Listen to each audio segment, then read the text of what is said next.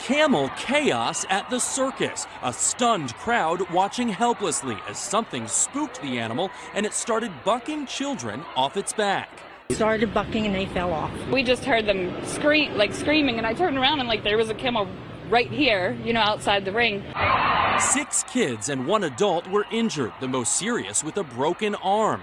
The incident happening during intermission of the Pittsburgh Shrine Circus when kids are offered rides. Witnesses report seeing a small child throw a shovel at the camel's foot, causing the 11 second scare. The investigation's continuing, but we have heard those reports as well. We've had the circus for 69 years without incident. Unfortunately, this is the first one.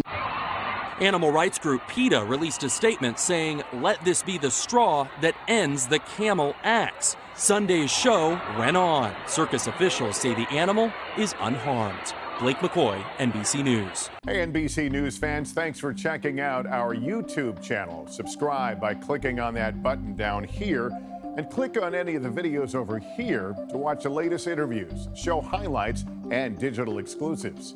Thanks for watching.